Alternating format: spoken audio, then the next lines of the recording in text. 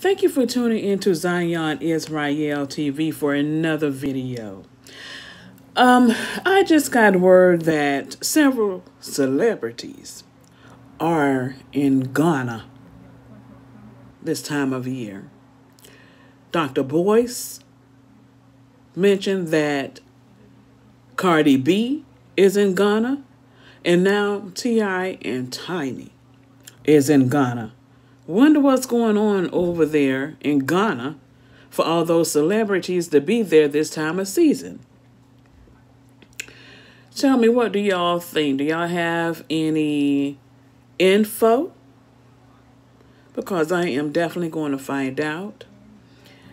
And I'll touch bases with you later because I'm sure that there are some rituals going on over there.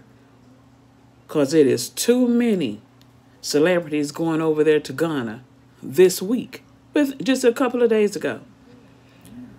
See you on the next one.